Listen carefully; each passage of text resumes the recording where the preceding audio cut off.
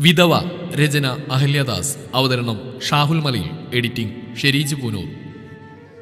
രമേ ദേ അത് നമ്മുടെ ഗണേശന്റെ ഭാര്യയില്ലേ? അതെയല്ലേ? സുമ ദൂരേക്ക് നോക്കി അമ്മിളിയോട് പറഞ്ഞു അതേ നീ അവളിപ്പോ ഇത് എന്തുദ്ദേശിച്ച?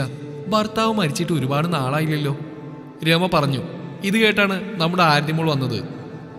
എന്താ? അമ്മയും സുമയാന്റിയും കൂടെ ഇവിടെ വലിയ ചർച്ചയാണല്ലോ? ആരെക്കുറിച്ചാ ഇന്നത്തെ ഗോസിപ്പ് സെക്ഷൻ ആരതി ചോദിച്ചു എന്നാൽ അത് ഇഷ്ടപ്പെടാത്ത ഭാവത്തിൽ സുമ മുഖം ചുളിച്ചു. ഞങ്ങൾ നോണ പറയല്ല ഒരു സത്യമാണ് നീ മിണ്ടാ വീട്ടിൽ പോ. അമ്മ അപ്പ എന്നെ വിളിക്കാനല്ലേ ഇങ്ങോട്ട് വന്ന്? കാര്യം എന്താണെന്ന് പറ അറിയട്ടെ. ആ വരുന്ന ആളെ കണ്ടില്ല നീ? മരിച്ചുപോയ ഗണേഷിന്റെ ഭാര്യ ലത ഓണം വന്നപ്പോ അവളതേ തുണിക്കട ഇറങ്ങിയുള്ള വരവാണ്. കെട്ടിയാൻ പോയ സങ്കടമൊന്നുമില്ല അവൾക്ക്. സുമ അനുകൂലിച്ചു. നിങ്ങൾ രണ്ടാളിത് എന്തൊക്കെയാണ് പറയുന്നത്? അവർക്ക് എന്ത് ഉടുപ്പ് വാങ്ങിക്കൂടെ? ആരതി അവളുടെ സംശയം പ്രകടിപ്പിച്ചു. നീ കരുതുന്ന പോലൊന്നും അല്ല. ഓണല്ലേ? അതോടെ ഭർത്താവ് മരിച്ചിട്ട് ആദ്യത്തെ ഓണം. സുമ ചോദിച്ചു. അതിനിപ്പോ എന്താ? അവൾക്ക് സങ്കടമൊന്നും ഇല്ലാത്തതുകൊണ്ടല്ലേ കാര്യമായിട്ട് തുണിയെടുക്കാൻ പോകുന്നത് രമയും വിട്ടുകൊടുത്തില്ല നിങ്ങളുടെയൊക്കെ ഷോപ്പിംഗ് ഞാൻ കാണാറുള്ളതാണ്. അതുപോലെ പത്തും പന്ത്രണ്ട് കവറൊന്നും കയ്യിലില്ല. ആകെ ഇത്തിരി പോകുന്ന ചെറിയൊരു കവറാണ് കയ്യിലുള്ളത്. അതിൽ എന്തൊക്കെ വാങ്ങിക്കൊണ്ടുവരാൻ പറ്റുന്നാ പറയുന്നത്? ആരതി അവളുടെ ചോദ്യം ഉന്നയിച്ചപ്പോൾ അവർക്ക് വലിയ ഉത്തരമില്ലായിരുന്നു. ലത ഉടുത്തിരിക്കുന്ന സാരി നോക്ക്. എന്തൊരു കളറാണ് അതിന്? സുമ വിട്ടുകൊടുക്കാതെ അടുത്ത പ്രശ്നമായി വന്നു. അല്ല ആന്റി ഉടുത്തിരിക്കുന്ന സാരിക്ക് ഒട്ടും നിറയില്ലല്ലോ അല്ലേ? ആരതി സുമയോട് അല്പം പുച്ഛത്തോട് ചോദിച്ചു. നീ എന്താ പറയുന്ന ആരതി? സുമയെ പോലെയാണോ അതാ? അവളൊരു വിധവയല്ലേ? തന്നിഷ്ടകാരി ആയതുകൊണ്ടല്ലേ അവളിങ്ങനെ നിറമുള്ള സാരി ഉടുത്ത് ഇറങ്ങിയിരിക്കുന്നത് ഇനി എന്തെങ്കിലും പുറപ്പാടാണാവോ? അവളുടെ കാണിഞ്ഞൊരുക്കം രമ ലോഡ് കണക്കിന് പുച്ഛം ചേർത്ത് പറഞ്ഞപ്പോൾ സുമ അവളോട് ചേർന്ന് പറഞ്ഞു ആരെങ്കിലും വലവീശി പിടിക്കാനാവും ഇനി? ഒരുത്തം പോയെങ്കിലും അവളൊരു ചെറുപ്പക്കാരിയാണല്ലോ. നിങ്ങളുടെയൊക്കെ മനസ്സിൽ വിഷമാണ്. ലതാന്റിയുടെ മക്കളൊരാളായ ലിപ്പി എന്റെ ഒപ്പാണ് പഠിക്കുന്നത്. അവിടെ അമ്മയുടെയൊക്കെ സങ്കടം എന്താന്ന് എനിക്ക് നന്നായിട്ട് അറിയാം ആരതി പറഞ്ഞു നീ അവരോടാണ് കൂട്ട്? അതിനൊന്നും ആവശ്യമില്ല.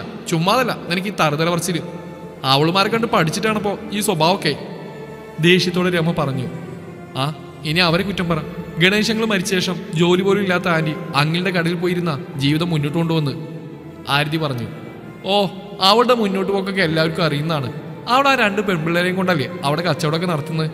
സുമുടനെ പറഞ്ഞു അങ്ങനെയൊക്കെയാണല്ലേ? അപ്പൊ കാര്യങ്ങൾ ഞാനും ആലോചിച്ചു.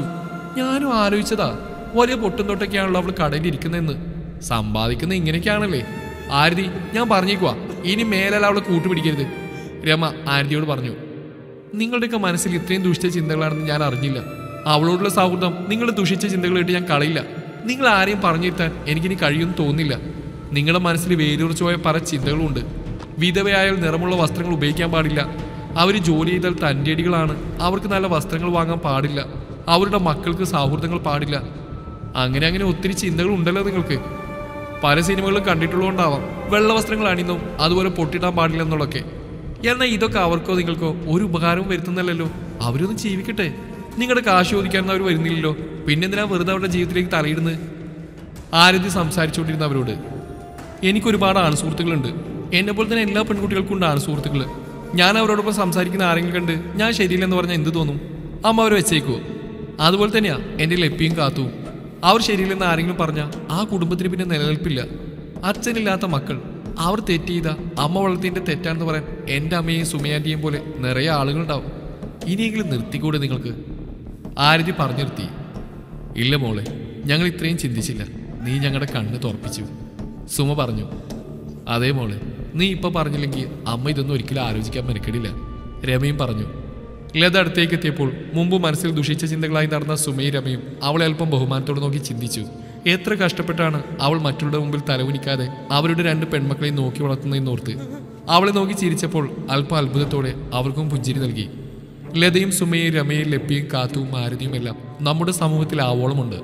അവരെ നിങ്ങളുടെ ദുഷിച്ച ചിന്ത കാരണം കുറ്റപ്പെടുത്താതെ അവരും മനുഷ്യരാണെന്ന് മനസ്സിലാക്കാൻ ശ്രമിക്കുക. ലതയെ പോലെയുള്ളവരെ കാണുമ്പോൾ അവരെ സഹായിക്കേണ്ട ഉപദ്രവിക്കാതിരിക്കുക അത്രമാത്രം മതി.